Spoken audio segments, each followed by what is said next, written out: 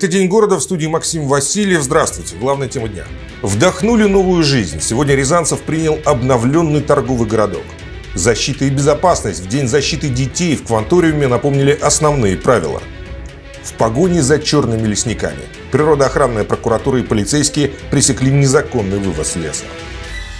После долгожданного ремонта в Рязани открылся торговый городок. Сегодня рязанцы впервые прошлись по обновленным аллеям. Впрочем, пока что завершен лишь первый этап возрождения, но горожанам уже очень нравится.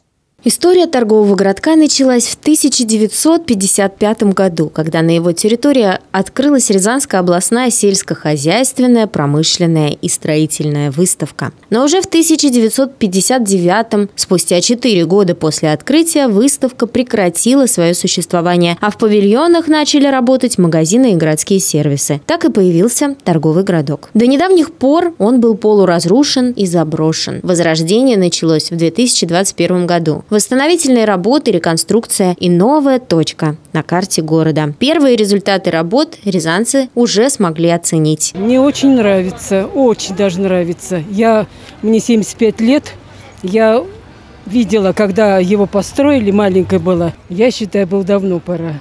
Но я очень рада, очень довольна. Мне очень нравится. А еще в дальнейшем еще последние будут, как говорится, ретушь напоследок. Мне кажется, вообще будет великолепно. Все нравится очень. Когда оживают какие-то заброшенные вещи, всегда очень радует. Очень зелено, красиво. Уютный парк получился, прям очень замечательно. Мне очень хорошо тоже. Понравилось. Конечно, хочется еще до конца все увидеть, как это будет и что здесь будет присутствовать. А так, в целом, еще одно место, где вот возможно погулять. Ну, с удовольствием будем приходить. Ну, хотелось бы даже вот, ну, что-то, какие-то вещи, где будут проходить какие-то мастер-классы, как для взрослых, так и для детей. Мы очень рады то, что это, взялись за торговый городок. Я сам рязанский, очень жил на Свердлово когда-то, вот, в старых домиках и так далее. Я очень, в принципе, доволен. Ну, почему-то ничего не открыто вот так вот. Я здесь первый раз был в 68 году, еще маленьким. Здесь была сельскохозяйственная выставка, Рязанская областная. Коровы, буйволы, ну, тут очень много всего было. Был в запустении, я даже вот этот дом одно время реставрировал, даже одно время с женой это вместе. И мы очень рады, что восстанавливается это все по-новому. К сожалению, вот фонтан не включили. Преображение этого заброшенного уголка еще не закончено. Впереди немало работы. В этих павильонах вскоре начнут принимать гостей рестораны с рязанской кухней. Здесь можно будет попить чай, узнать много интересных фактов в музее чая. Вот тут будет филиал библиотеки Горького. Откроется в торговом городке также брендовый бутик, где будут представлены локальные рязанские бренды. Михайловское кружево, Скопинская керамика, Кадымский винис. Ремесла, которыми Рязанский край может гордиться гордиться, соберут в одном месте. Мы территорию, конечно, открываем, но не говорим о том, что все готово и э, на этом все закончено. То есть это только как бы ну, второй этап пока. Вот, мы продолжим работу по благоустройству павильонов. На следующий год у нас запланирован третий этап. Мы перейдем на вторую линию за павильоны, сделаем там дорожки по благоустройству, тоже проведем э, освещение, озеленение. То есть это пока мы где-то в середине пути находимся. Часть павильонов откроют уже в июле. Последние штрихи вносят и в расписание мероприятий, которые здесь планируют проводить уже этим летом. Это и выставка ретро-автомобилей, и модный показ, и мастер-классы для детей и взрослых. Ну а просто погулять здесь здесь можно теперь каждый день с 8 утра до 10 вечера. Сегодня, в День защиты детей, в Кванториуме «Дружба» для детей от 9 лет прошло мероприятие под названием «Защита и безопасность». Для ребят организовали работу нескольких станций, где им напомнили о правилах безопасности в летний период. И не только. Итак, ребят, смотрите, участников дорожного движения существует три группы. Это пешеходы, водители, пассажиры. Мы прежде всего с вами будем говорить про пешеходов. Эту станцию курирует Центр профилактики детского травматизма. Первым делом детям напоминают правила безопасности при переходе через нерегулируемый пешеходный переход. На уменьшенной модели. Здесь и движение по полосам, и модели авто, копирующие настоящие. В общем, самый что ни на есть дорожный поток. Вы не видите? Есть там машина, нет. Что нужно сделать? Нужно выглянуть. Вот одной головкой не наступаем, мы не идем вперед, мы просто выглядываем. Здесь сотрудники госавтоинспекции напоминают о правилах движения на транспорте. Например, что при катании на роликовых коньках нужно обязательно надевать шлем, налокотники и наколенники. А при езде на велосипеде оборудовать своего железного коня необходимыми световозвращающими элементами, катафотами и зеркалами. Мы в игровой форме общаемся с детьми и рассказываем их, им об основных, э, так сказать, азах дорожной безопасности, вот, о тех, э, может быть, опасностях, с которыми они смогут столкнуться в период своего летнего отдыха. Конечно, в первую очередь это передвижение детьми в качестве пешеходов, а также э, передвижение детей, когда они управляют средствами индивидуальной мобильности и велосипедом. Мероприятие под названием «Защита и безопасность» в День защиты детей организуют в кванториуме «Дружба» ежегодно. Приходят как ребята из самого кванториума, так и из других образовательных центров. Сегодня у нас присутствуют станции с мастер-классами по робототехнике, по психологии, по кибербезопасности, называется кибербезопасность и точка. А, мастер-классы связанные с физическими опытами, мастер-классы, связанные с вязанием узлов туристической направленности. Станции нацелены не только на то, чтобы напомнить детям правила безопасности летнего отдыха, узнать что-то новое на психологической пятиминутке, научиться вязать морские узлы, в общем, получить заряд бодрости перед летними каникулами. Депутат Госдумы от Рязанской области Дмитрий Хубезов вернется в зону СВО. Об этом в своем телеграм-канале написал зампред Совета Федерации Андрей Турчак. По его словам, перед отправкой на фронт Хубезов попросил освободить его от должности председателя Комитета Госдумы по охране здоровья. Сейчас нет ничего важнее, чем защита нашей страны на поле боя. Когда я уезжал в первый раз, я обещал, что приеду, когда меня позовут на поле боя. В окопах сидят наши дети, они отдают свои жизни. Я обязан быть рядом.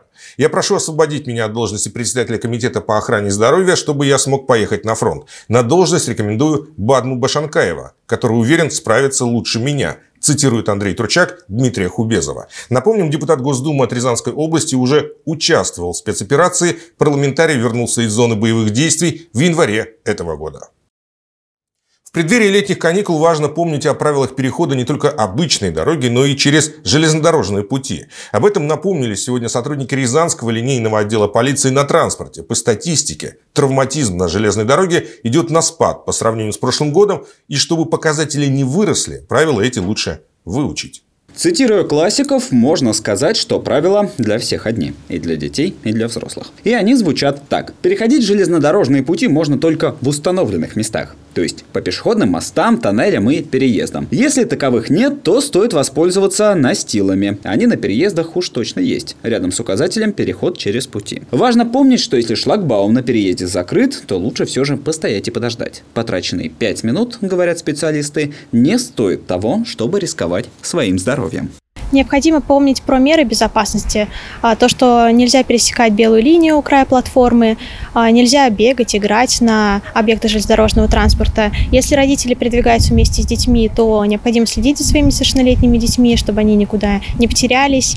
А также самим несовершеннолетним при исследовании в лагеря пребывания летнего необходимо следить своим имуществом, личными вещами. В большинстве своем правила безопасности на железнодорожных путях простые, говорят сотрудники линейного отдела полиции на транспорте. Но напомнить их не помешает. Например, то, что ходить по железнодорожным путям строго запрещено. И вроде как это аксиома, но все равно сегодня можно легко встретить детей, гуляющих по рельсам. Аксиома и то, что запрещено пробираться под вагонами и перелезать через автосцепки. В худшем случае это может привести к гибели. Статистика происшествий на железнодорожных путях свидетельствует о том, что правила эти начинают соблюдать. Травматизм идет на спад. Ситуация по травматизму у нас в этом году складывается а, лучшим образом, чем в том, на 30% у нас э, снижение уровня травматизма, в том числе и смертельного. Безопасность детей зависит и от родителей, как они донесут им правила поведения близ железнодорожных путей. Об этом говорят сотрудники линейного отдела полиции. И чтобы летние каникулы прошли без травм, правила эти следует подучить еще раз. Сотрудники межрайонной природоохранной прокуратуры вместе с полицейскими пресекли нарушения в сфере лесного законодательства. Речь идет о перевозке леса без сопроводительных документов. Один из таких лесовозов остановили на стационарном посту ДПС.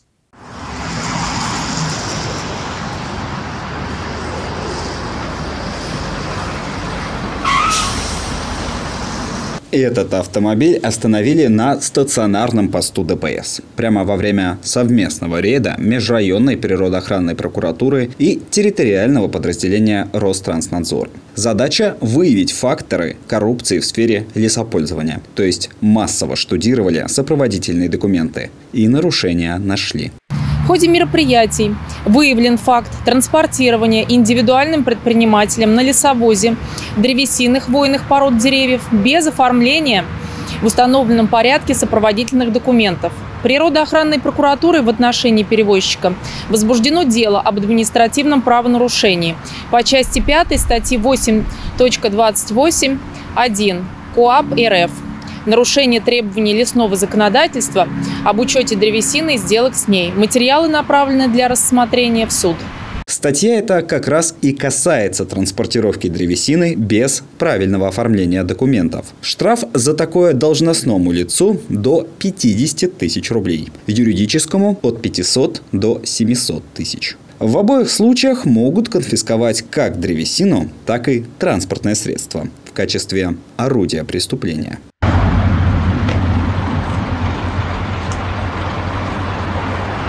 Рязанская межрайонная природоохранная прокуратура разъяснила ответственность за незаконную рубку лесных насаждений. Так, рубка даже одного деревца может повлечь неприятные последствия – административное или уголовное. В статье 16 Лесного кодекса Российской Федерации определено, что рубками лесных насаждений, таких как деревья, кустарники и даже лианы в лесах, считаются процессы их валки, то есть спиливание, срубание, срезание, трелевка – частичная переработка и так далее. За незаконную рубку леса предусмотрена административная, уголовная и гражданско-правовая ответственности. По статье 8.28 Кодекса об административных правонарушениях штраф в размере 4000 рублей для обычных граждан, для юрлиц до 300 приобретение, хранение, перевозка или сбыт древесины, притом заведомо незаконно заготовленный, влечет штраф уже 5000 рублей.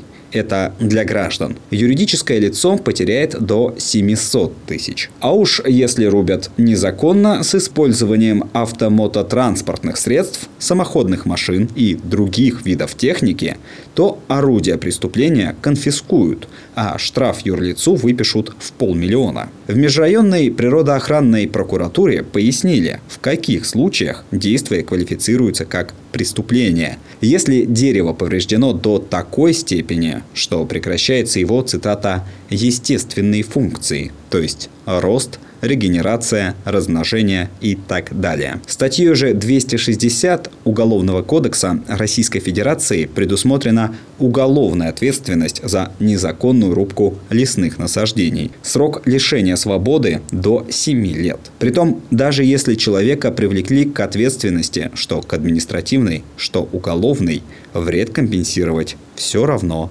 придется. На этом у нас все еще больше новостей на нашем сайте www.город62.tv и на наших страничках в соцсетях. Всего доброго.